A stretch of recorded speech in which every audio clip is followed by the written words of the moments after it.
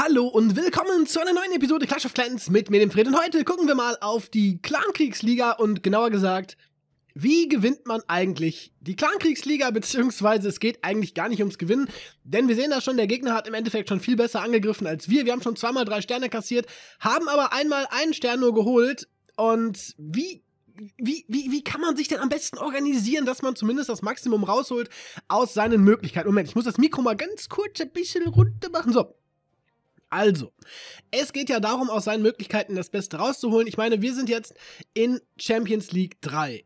Und wir wissen, dass wir uns, wir wissen, wir, wir, wir wissen natürlich, wir steigen nicht auf. Das ist schon mal ganz klar. Es sind auch keine Deutschen dabei, leider, muss ich sagen. Das überrascht mich auch ein bisschen.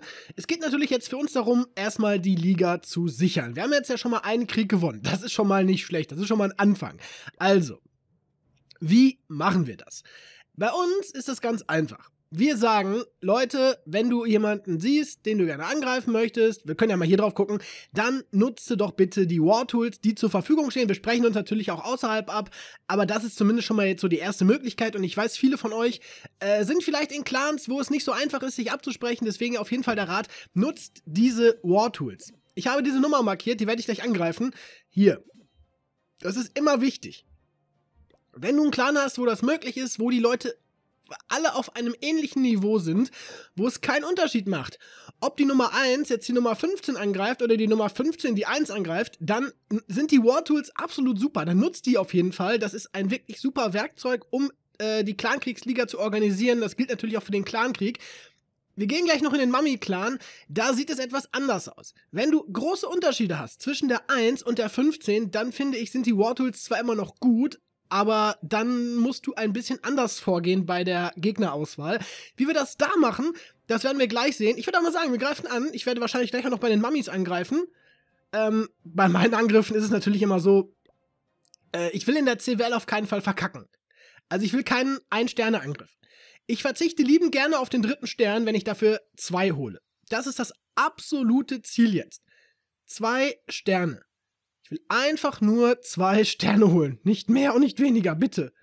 Vor allem Live-Angriff, das geht eh immer in die Hose. So, was haben wir denn alles? Ah, wir haben zwei Blitze, wir haben vier Freeze, wir haben drei Wut, wir haben einen Gift, wir haben unseren Felsenwerfer dabei. Ja, lasst uns mal loslegen, würde ich sagen. Und dann gucken wir gleich mal bei den Mummies. Und dann können wir gleich wegen mir äh, bei WTC im What the Fuck Clan. Da sieht es eigentlich noch ein bisschen anders aus. Aber zumindest das, was ich jetzt euch erzähle, wie ihr euch denn organisieren könnt für die CWL, das kann man zumindest vom, von The Return und von den Mummies auf jeden Fall übernehmen. Also zum einen für einen Clan, wo die Rathäuser alle auf einem ähnlichen Niveau sind und bei den Mummies, wo wir halt etwas größere Unterschiede haben. Aber das gucken wir uns gleich an. So, Leute, so, wir gucken. So, haben wir alles. Wo setze ich denn gleich die Gladi hin? Oh, warte mal. Die läuft nach da. Ich nehme einen Headhunter mit. Ich nehme einen Headhunter mit. Ist mir, glaube ich, ist, ist das sicherer? Nee. Ich weiß es nicht. Ach Gott, ich bin so verwirrt. Nehme ich ja Headhunter mit oder nicht? Nee, Headhunter ist, glaube ich, blöd. Nee, wir gehen ja sowieso von hier so vor. Alles in Ordnung. Ich, ich muss einfach machen. Einfach machen. Ich will jetzt nicht zu lange rumreden. Einfach machen. Einfach machen. So. Queen nach da. So. Zack, zack, zack. Ist jetzt auch, ja, ist okay, wo ihr hinlauft. Lo lauft los. Ja, du nach da, genau. Alles gut. Äh, ich freeze mal einmal. Der König war nämlich im Radius und die Gladi soll auf jeden Fall noch ein, zwei, dreimal werfen können. So, jetzt kriegt sie natürlich das Katapult ab. Ist in Ordnung, aber sie kriegt auch die Luftabwehr. Das ist das, was ich wollte. Perfekt. So. Zack, zack, zack. Oh, ist auch noch weggegangen. Ah, die Gladi oben ist auch weg. So, König und seine Konsorten laufen da noch rum. Alles gut. Und jetzt können wir loslegen mit Teil 2. So, ähm, Nein, es ist wieder ein Hund drin. Ey, leck mich doch am Arsch. Ey, leck mich doch am Arsch. Es ist wieder ein Hund drin. Es ist wieder ein Köter drin. Das gibt's doch nicht. Es ist schon wieder ein Köter drin. Ey, das ist unglaublich. Letztes Mal war ein Köter drin. Jetzt ist schon wieder ein Köter drin. Oh mein Gott, ey. Ich hasse das ja. Ich hasse das ja wie die Pest, wenn jetzt schon wieder... Oh, Leute, ey, mach den Köter jetzt kaputt los. Mann, ey, es ist so ärgerlich. Es ist so ärgerlich. Es ist schon wieder ein Köter drin. Es ist schon wieder ein Köter drin. Mann, ey, das ist so... Das Einzige, was, das Einzige, was du nicht willst bei einem, bei einem Angriff mit, mit Elektrodrachen ist, du willst die Clanburg nicht locken. Das ist das Einzige, was du nicht willst. Du willst die Clanburg nicht locken. Und was ist passiert? Der, der, der König lockt noch so gerade eben die Clanburg und es kommt ein Hund raus. Der Hund ist die absolut das ist wirklich die, das die absolut schlechteste Truppe, die du haben kannst in der Clanburg beim Gegner, wirklich. Wenn du mit Elektrodrachen angreifst, du willst alles in der Clanburg haben, aber keinen Hund. Aber keinen Köter. Na egal, wir haben die zwei Sterne geholt. Ich denke mal, wir werden den zweiten Krieg auch verlieren, außer es passiert noch ein Wunder. Das ist trotzdem ärgerlich, ne? Also gerade eben, der läuft da noch, da läuft er noch rum, da geht er noch rein, da, da ist er reingelaufen. Durch die Ecke. War wahrscheinlich geplant vom Gegner und dann was kommt daraus? Natürlich der Köter. Der Möter. Nein, nicht der Möter, sondern der Köter. Ja. 68%. Warden wird jetzt auch gleich das Zeitliche segnen. Ja, was soll ich sagen? Das hätte, hätten mehr Prozente werden können. Beim ersten Angriff war es auch so. Oh, wir haben übrigens noch einen Angriff von Presidente. El Presidente. Ja, er macht's besser als ich. Oh, was hat er denn hier? Ein Eishund. Ein Eishund und die Superlakis. Ja, und die kümmern sich jetzt richtig schön, oder der eine kümmert sich jetzt noch schön darum. Ah, jetzt seid der, ja, ja, Katapult, jetzt bist du gefroren, ne? Ja, jetzt guckst du blöd. Guckst du blöd aus der Wäsche und, ja, 70%, 71%, 72%. Der Warden ist noch am Leben, aber er ist jetzt auch kaputt. Und, und, und, und, das war's. Das war's. 72% von El Presidente, das sieht natürlich schon mal sehr gut aus. Und ich würde mal sagen, gehen jetzt mal rüber in den Mami-Clan. Ich will nämlich gucken, ob ich da auch noch mal einen Angriff machen kann. Und ich erzähle euch, wie wir das da machen mit der Organisation. Also nochmal zusammengefasst. Wenn wir hier alles ungefähr auf einem Niveau haben, auf jeden Fall die War Tools benutzen, je nachdem, wo kann ich was holen, absprechen untereinander, wer kann wen angreifen, weil es ja keinen Unterschied macht, ob ich jetzt die 1 angreife oder die 15 angreife, wenn die Dörfer eh alle ungefähr gleich sind vom Niveau. Und jetzt rüber, bis gleich. Okay, wir sind wieder da und ich muss allerdings noch meine Truppen ausbilden. Ich möchte die 10 angreifen. Ich kann ja jetzt mal sagen, wie das hier funktioniert. Hier haben wir eine weite Spanne an Rathäusern. Wir haben oben Rathaus 13, haben aber unten nur Rathaus 8, beziehungsweise die unteren sind bei uns meistens Rathaus äh, 9 und Rathaus 10. Und na gut, klar, das Matchmaking ist Mist aktuell. Es gibt ja kein Matchmaking in der CWL, aber unsere Gegner sind jetzt aktuell Mist. Wir sind zu hoch. Bedeutet, wir kriegen eh schon jetzt zu hohe Rathäuser als Gegner. Wir werden wahrscheinlich dann diesen Krieg auch verlieren. Ist aber auch jetzt erstmal egal. Wie gehen wir vor? In diesem Fall machen wir das ganz einfach. Jeder greift sein Gegenüber an. Es gibt allerdings die Möglichkeit natürlich auch noch zu tauschen. Bedeutet, ich greife jetzt die 10 an. Wenn ich jetzt sage, die 9 liegt mir besser, muss ich halt Luis eben fragen, äh, ob ich tauschen darf oder nicht, weil das einfach bei so einem Clan, vor allem bei einem Com Community-Clan mit so vielen unterschiedlichen Rathäusern und so vielen unterschiedlichen Spielern, die einfachste Möglichkeit ist, sich zu organisieren. Und ja, das ist einfach, man schreibt eine Clan, immer eine, wenn du Clanführer bist oder Vize, schreib eine Clan-Nachricht, lieber eine zu viel als zu wenig, das ist, das ist echt wichtig.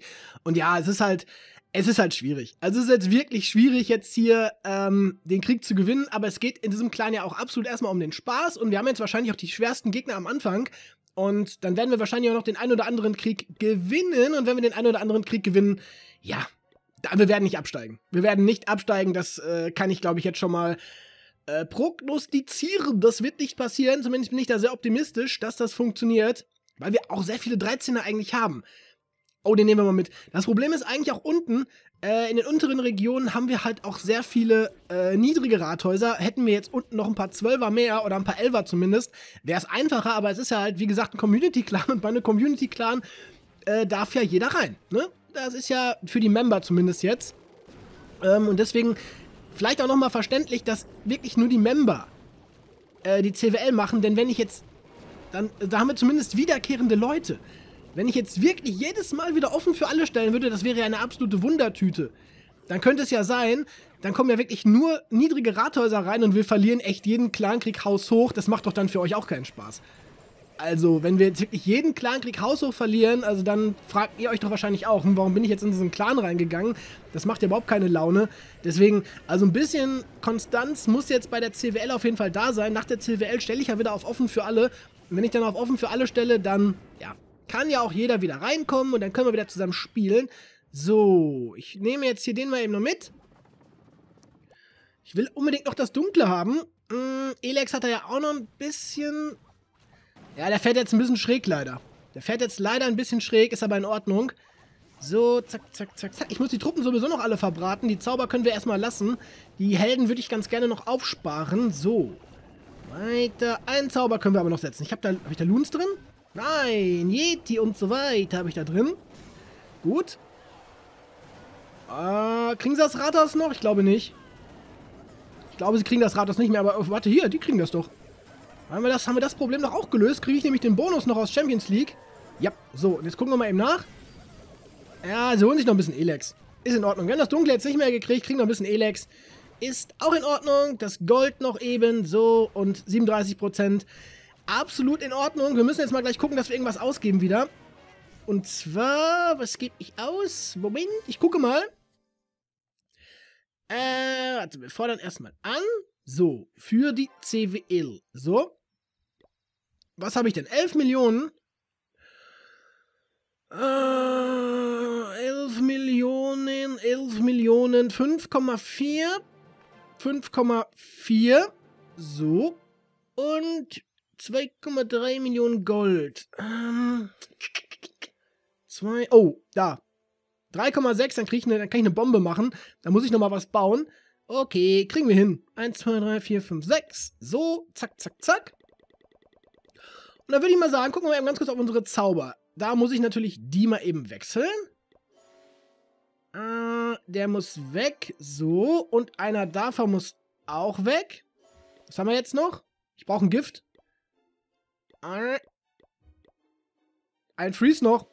Okay, jetzt passt. So, das sind unsere Zauber. Truppen, äh, Zauber sind da, Truppen sind da, alles okay. Ich nehme trotzdem mal einen Heldentrank mit. So.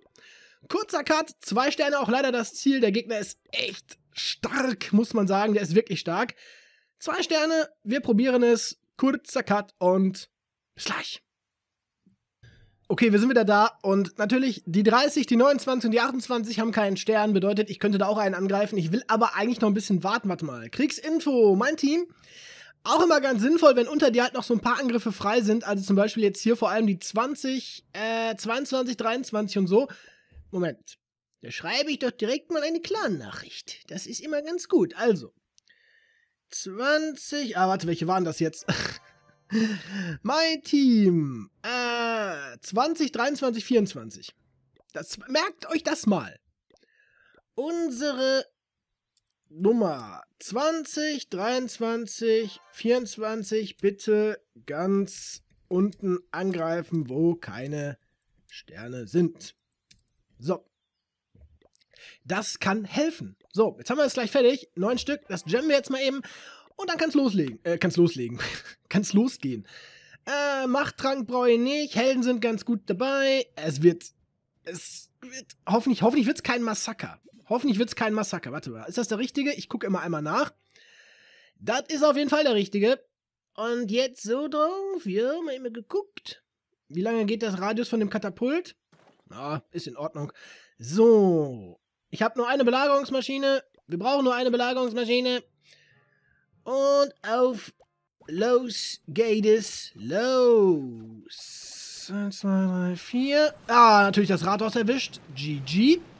Das war nicht geplant. Jolo. Das war nicht geplant. So, wir räumen jetzt da schon mal so ein bisschen auf. Dass die gleich hoffentlich in die Mitte reinlaufen. Das wäre natürlich super. Das würde ich auf jeden Fall feiern, wenn das passiert. Komm, einmal noch schlagen. Ja, braves Peckermädchen. Brav. So, eins, zwei, drei.